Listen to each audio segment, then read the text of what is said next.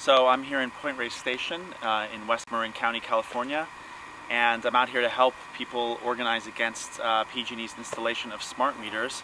And you know, people live out here. It's a really beautiful place. People live out here because uh, it's not so polluted, it's quiet, it's away from the city.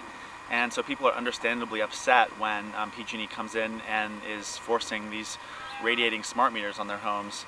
Um, the other day we went up and down the main street and gave flyers uh, to the, sh the, shop owners to uh, let them know what the Wellington trucks look like and let them know that people uh, were getting sick from these things.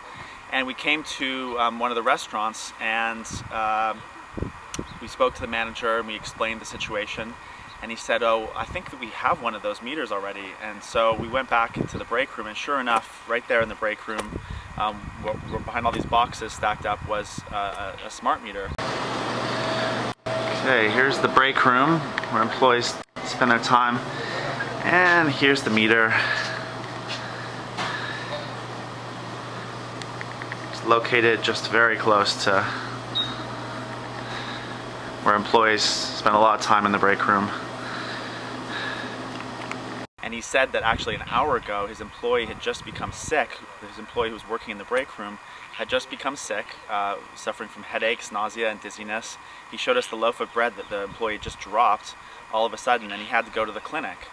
So um, our eyebrows sort of raised and, and we, um, we asked if we could come back at a later date and interview the employee. Tell me a little bit about what happened to you the other day.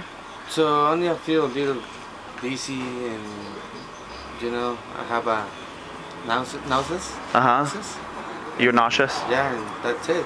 Uh huh. But I, you know, I have asthma, maybe for my problem asthma. Yeah. And feel. Where were you at the time when this happened? Uh, where? Yeah. Here in the the deli.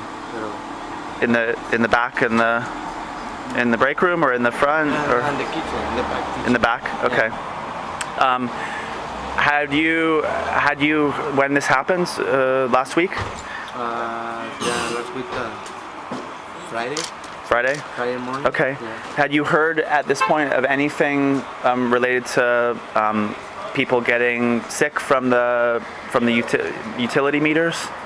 Uh, no. You you hadn't heard anything no. about that? Yeah, I go to yeah. the clinic here in.